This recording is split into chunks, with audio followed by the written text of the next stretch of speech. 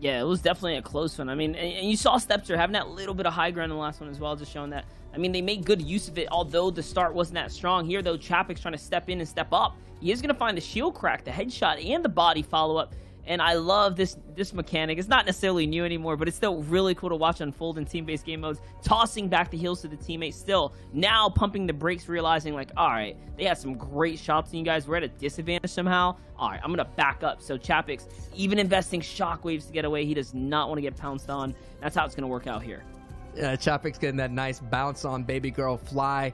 Baby Girl Fly not having a great back to back, and that is the end of the ride for that Baby Girl trio. Hey, at least make an appearance here in the top. Not only that, the cash prize too. Take that Yeah. with you. You're Store right. that on the side. You know, Okay. not too bad. Not too bad. Not too shabby. Some life changing money could be doled out. I feel that. But there's always something special of having something exclusive in the Fortnite world. I felt that little taste of that exclusivity when I got that tango outfit, and I was, yeah, I had it. And then it went to the shop, and Bondi, that's going to be big. Bondi's one of those teams on the bubble.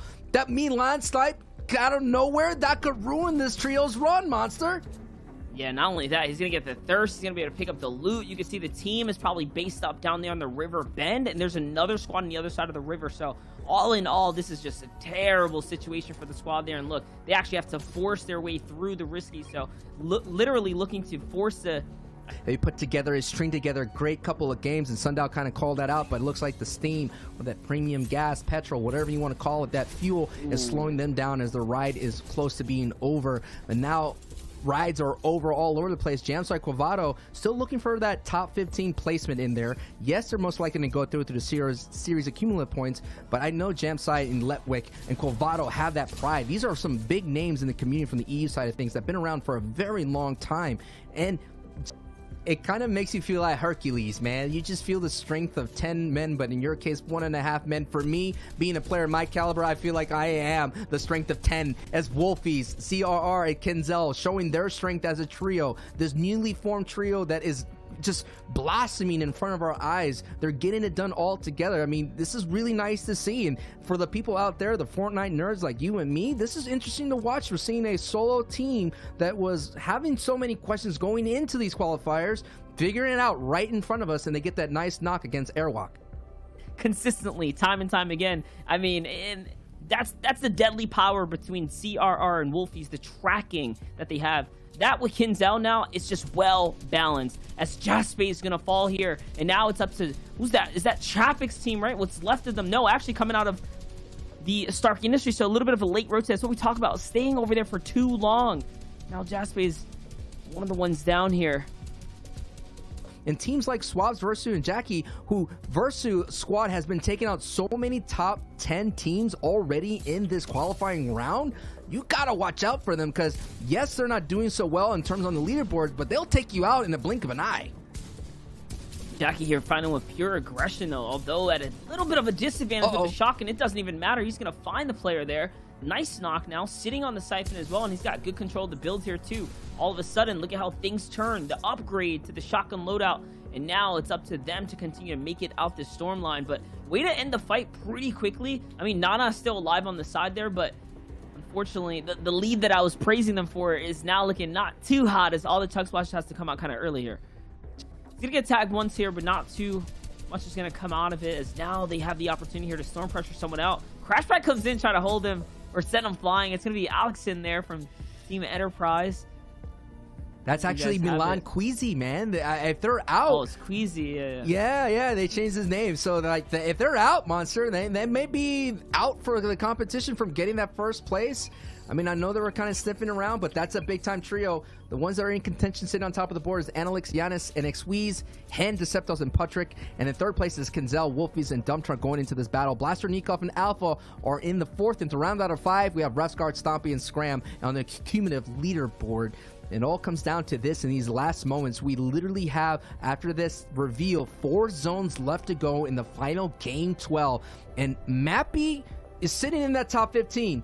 And Fremont's trio already lost Fremont. I'm not sure if they're still in this fight, but that's another team that's on the bubble. As we're going to see who is going to get this last victory royale going into heats. And that is when things are kick up a notch. That's when things get spicy.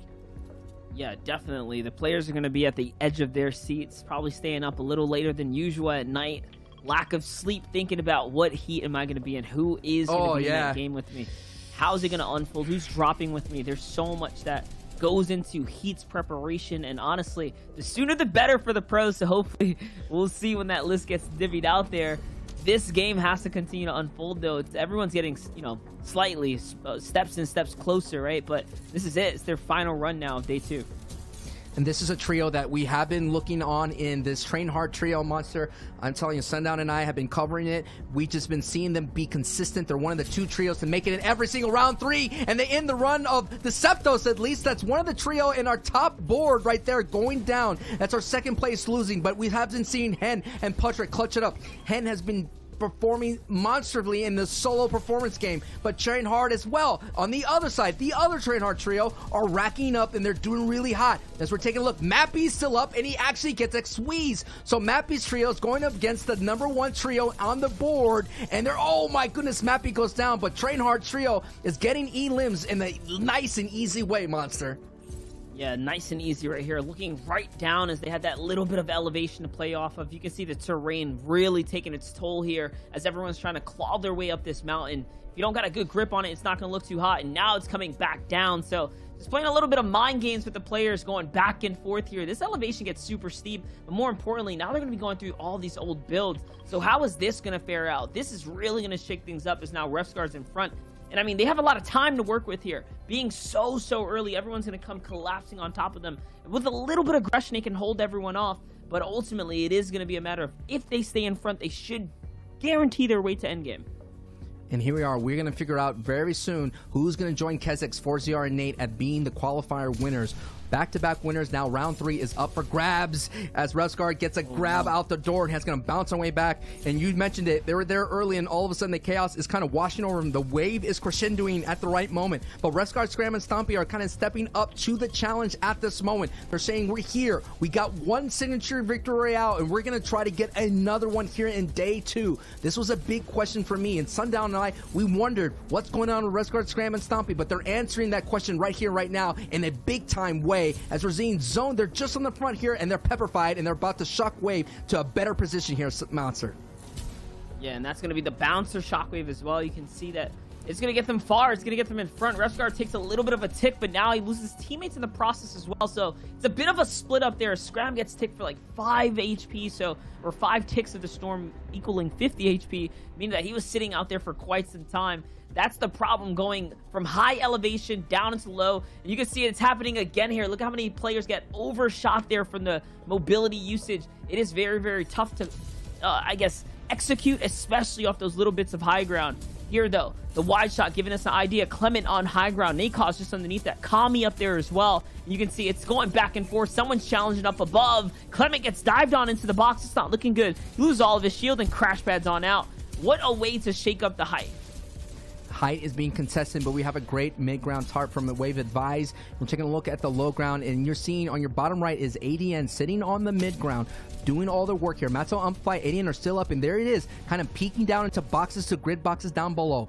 Here we're taking a look at Cooler ZQ's trio, Black and Robots, sitting at height. What a strong performance from Cooler ZQ. Got so close, they're getting the opening Victory Royale. Can they close this out with the Victory Royale? We'll tune in with that, but the story is Train Hard's Matzo Amplify and ADN working really well together, but ADN's low on mats, but you're seeing the supportive play of his trio mates kind of help him out as they go for a layer switch, knowing that they're low on mats here, Monster, but they're still looking strong considering they're fine hip to hip and taking every moment to get any bit of material as possible. And just look at the tracking right there. He was hunting. He's going to find Refsgaard in the storm line, and one little hit, even from that far, is enough to take him out here. They don't hold these floors, though. Do have to be careful distancing themselves. High ground, though. Blackie, Cooler, ZQ, and Robobs holding it down right now, raining fire right now. And honestly, Cooler, ZQ did win his engagement up there, so high ground is all theirs, and they're fully kitted. In the low, though, ADN here trying to get as many points as possible. This is what matters most. Remember, there is prizing on the line here no matter what, so you want these elims. You want that first place. Absolutely, and every type of elim just gets you closer and closer. Hundreds and hundreds of dollars are being accrued right here, here, and another elim is being accrued. So it is Amplify, Amplify, ADN, and Matzo going up against Robots, ZQ, and Blackie. It's a 3v3. The final two teams standing tall in hmm. game 12. This is going to be a matter of can Height hold on as long as possible? As you already seen, down to the soft mats, down to wood, and Amplify's trio is down to it. And goes, the engagement. They go toe to toe. Blackie goes down suffers the immediate blast, but now Cooler is being peppered. Now ADN Amplify, Amplify goes down. Matzo, ADN trying to close this out with the Victory Royale. Opportunities are here, just missing the blast, but they already have to deal with one more that's sitting at height, and they could go ahead and chop this down. The ultimate chop down happens. saying we were at the top. Wherever we go in finals, you need to be careful. Wherever we show up in heats, And Robab, ZQ, and Blackie actually end up pulling through, somewhat almost teetering off. But after that last game, 150 total points over the two days, seventh place overall. The team who we looked at in our previous package just managed to get that last slot there. They were one of the people who were teetering on the edge, and they've managed to hit that qualification up